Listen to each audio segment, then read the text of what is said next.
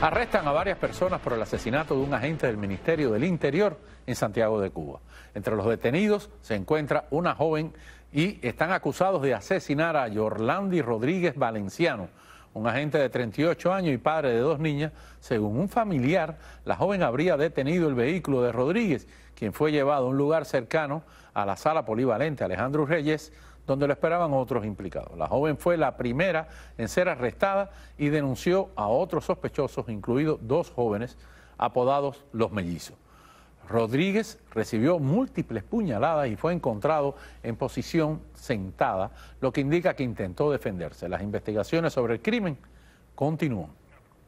La vicepresidenta del Tribunal Supremo de Cuba, Marisela Sosa Ravelo, afirmó hace unos días que la inseguridad en el país está exagerada por las redes sociales. A pesar de esto, y estas formas, estas plataformas se han convertido en un espacio donde los cubanos expresan su preocupación sobre la inseguridad, como recoge este reportaje de Palenque Visión. Vean.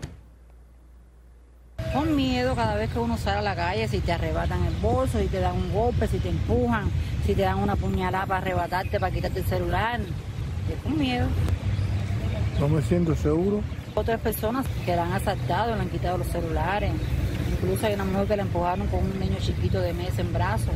¿Y qué pasa si esa persona se rehúsa, por ejemplo, puede virarse, fajarse con esa gente? Puede ser que, que Yuma le dé, esa persona le dé un golpe a esa, a esa cuatro personas o lo maten a él.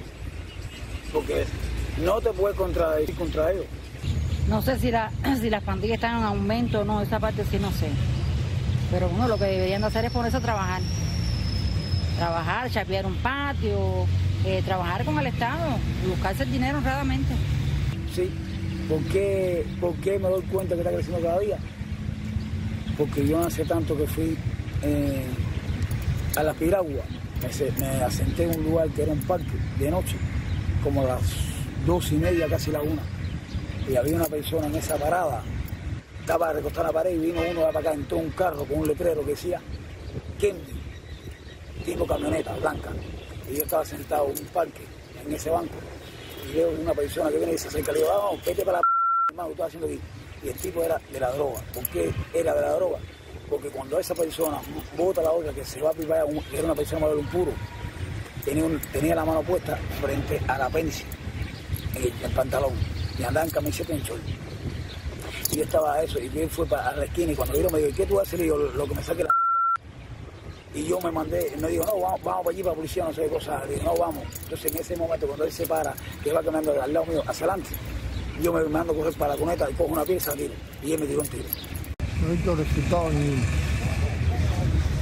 ¿Por qué? Porque a veces el policía es parte de la población. Está sufriendo lo mismo que la población. Entonces no le dan no le dan el interés necesario, pero con la oferta de ellos mismos también, a veces hasta ellos mismos se meten a delincuentes y, y, y permiten todo. Aquí acaban en este país. Hay muchos robos, muchos asaltos. La banda no cree, las bandas no creen en nadie. Te estoy diciendo que no creen ni en patrulla ni creen nada. Esas bandas te viran hasta la patrulla, te matan. Esa gente no cree en nadie, ni, ni en la madre que los parió ellos. El régimen cubano pondrá en vigor su ley de comunicación social, según funcionarios del Instituto de Información y Comunicación Social del país.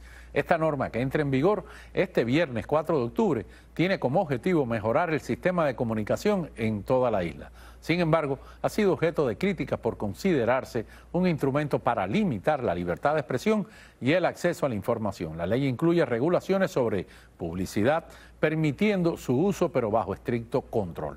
La publicidad de productos como tabacos y bebidas alcohólicas estará restringida a ciertos horarios y no podrá utilizar a figuras públicas.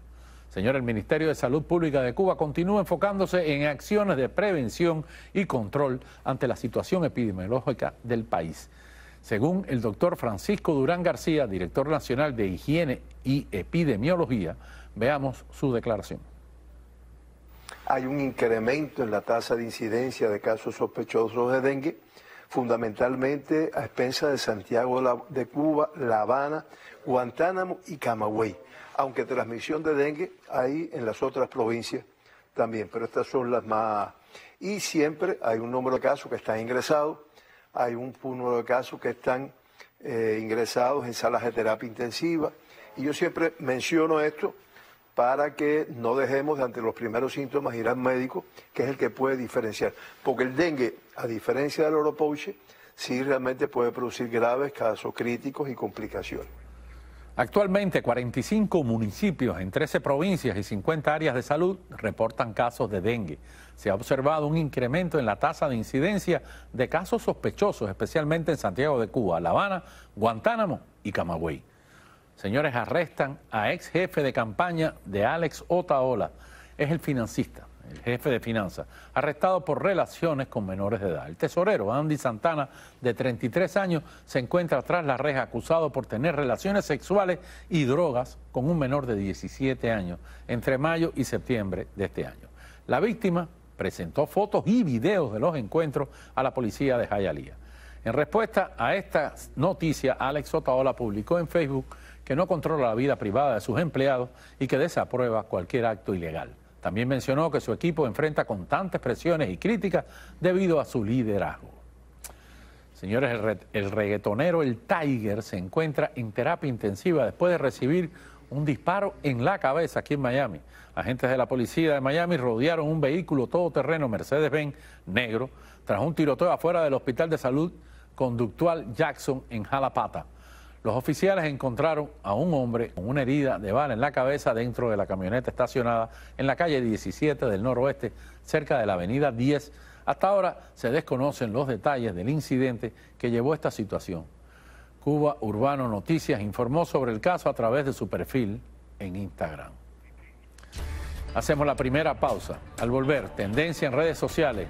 La peluquera que es víctima de una broma sobre un supuesto premio de un millón de dólares que se sacó en la loto, la pobre.